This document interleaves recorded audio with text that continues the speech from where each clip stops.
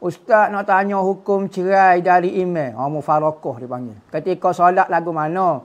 Situasinya macam ni. Seorang itu solat mengikut email. Siapa di rekaat keempat tahiyat akhir, makmum tu cerai daripada email. Dan habis ke solat dia serta beri salat lebih awal daripada email. Kerana di hati kita, saya tak si beri email dengan dia. Bukan kata usolli mufarokoh tak ayah gitu ya. Niat di hati sahaja, saya tak si beri email dah.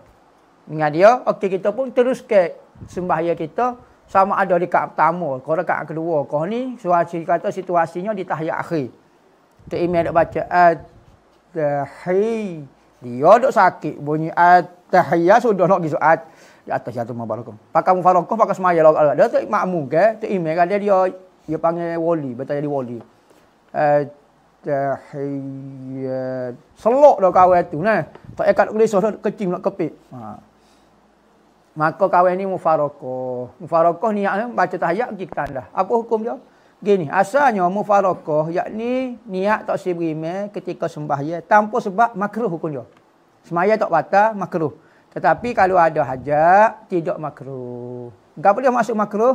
Kalau dia mufarokoh tanpa sebab meluput ke fadilat 27 yang dia boleh saat ni. Yang berjemaah saat ni kan boleh 27. Apabila dia mufarokoh, halil hilal.